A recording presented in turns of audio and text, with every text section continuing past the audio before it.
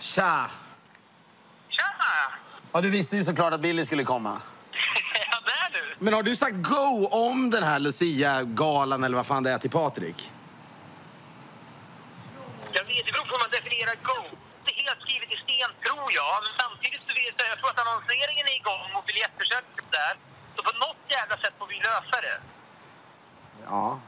Jag känner mig lite överkörd ändå, måste jag säga. Ja, men det, det här är ju också någonting som... Som jag ska minnas, eller? Va? Som jag ska minnas? När jag blev överkörd av alla i hela projektet? Jo, men det, det, det, det är någonting att minnas, men det är också en jävla härlig grej. Vi kommer kunna köpa skridskor till dem för pengar, men det kommer bli hjälmar och grejer. Ja. Jag står lite dåligt till. Men jag måste ju säga till Billy nu att jag ska göra den här jävla Lucia-galan, annars kommer inte han åka härifrån.